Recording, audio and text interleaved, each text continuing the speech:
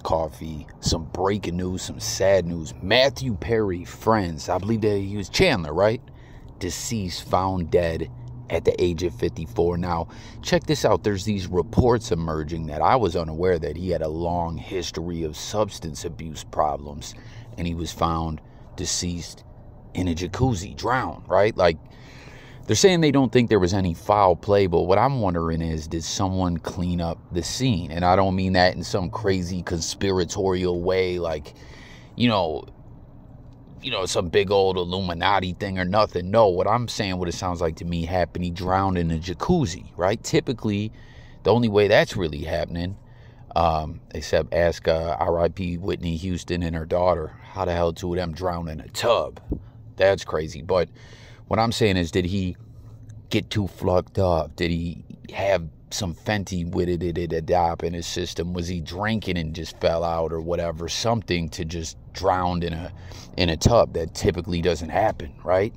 Um, and uh, with all these reports that he struggled all his life with substance abuse. Again, I didn't know that. Tap and let me know. Did you know that? Were you aware of that? Did you watch Friends? Back in the day, I used to watch Friends a little bit, you know, in this age of binging back out on old shows.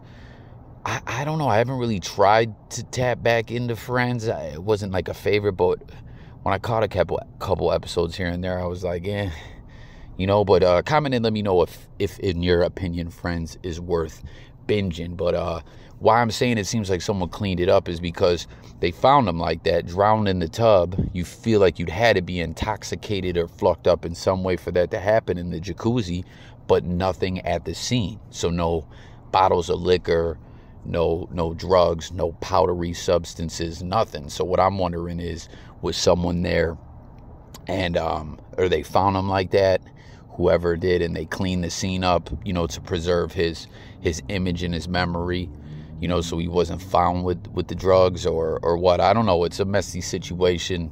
RIP. Let me know what you guys think. It's Coffee signing out. Subscribe. Let's talk. Peace.